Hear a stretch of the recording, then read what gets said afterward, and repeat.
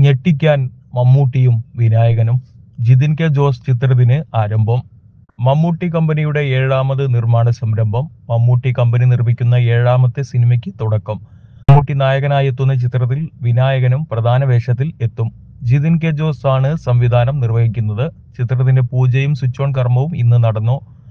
ദുൽഖർ സൽമാൻ നായകനായി എത്തിയ കുറുപ്പ് എന്ന ചിത്രത്തിന്റെ സഹരചയിതാവായിരുന്നു ജിതിൻ കെ ജോസ്.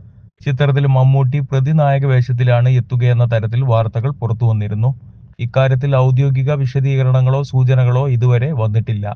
എന്തായാലും വിനായകൻ മമ്മൂട്ടി കോംബോ വലിയ ഒരു പ്രതീക്ഷയാണ് സിനിമാസ്വാദകർക്ക് നൽകിയിരിക്കുന്നത്. നാഗർകോവിലിലാണ് ഷൂട്ടിങ്ങിന് തുടക്കമാകുന്നതെന്നാണ് വിവരം. Rorschach Nanpakal Nerathu Mayakkam Kannur squad Kaathal Turbo എന്നിവയാണ് മമ്മൂട്ടി കമ്പനിയുടെ ബാനറിൽ ഇതിനോടകം റിലീസ് ചെയ്ത സിനിമകൾ. ഗൗതം വാസുദേവ മേനോനാണ് ചിത്രം റിലീസിന് ഒരുങ്ങുന്നത്. സുരേഷ് ഗോപി നായകനായി എത്തുന്നൊരു സിനിമ മമ്മൂട്ടി കമ്പനി നിർമ്മിക്കുന്നുണ്ട്. ഇക്കാര്യം നേരത്തെ സുരേഷ് ഗോപി ഏഷ്യാനെറ്റ് ന്യൂസിനോട് വെളിപ്പെടുത്തിയിരുന്നു. അതേസമയം ടർബോയാണ് മമ്മൂട്ടിയുടേതായി ഏറ്റവും ഒടുവിൽ റിലീസ് ചെയ്തത്. മമ്മൂട്ടി കമ്പനിയുടെ ആദ്യ ആക്ഷൻ ചിത്രം കൂടിയായ ടർബോ അറബിയിലും മൊഴിമാറ്റം ചെയ്തിരുന്നു. രാജ്ബി ഷെട്ടി പ്രതിനായക വേഷത്തിലെത്തിയ ചിത്രം ഏറെ പ്രശംസ പിടിച്ചുപറ്റിയിരുന്നു.